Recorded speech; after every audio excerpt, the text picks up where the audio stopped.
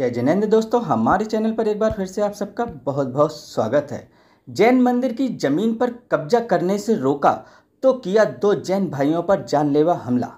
बांद्री थाना क्षेत्र के खुरई के दुघा कलाम गाँव में जैन मंदिर की ज़मीन पर कब्जा करने से मना करने पर दो जैन भाइयों पर हमला कर गंभीर रूप से घायल कर दिया।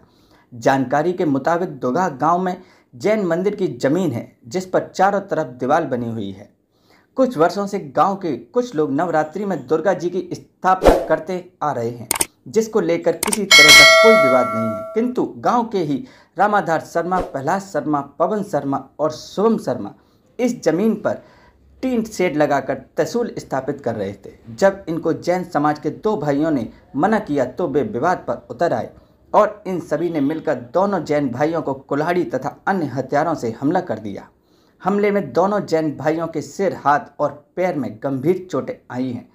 उन्हें स्थानीय अस्पताल ने प्राथमिक उपचार करके जिला अस्पताल रेफर कर दिया है। चौकी प्रभारी विकास बैनल ने बताया कि घायलों की रिपोर्ट पर उक्त सभी आरोपियों को गिरफ़्तार कर मामला दर्ज कर लिया गया है। दोस्तों, इसी प्रकार की खबरों को देखते रहने के लिए मेरे चैनल को सब्सक्राइब करने ना भूलें। धन्यवाद।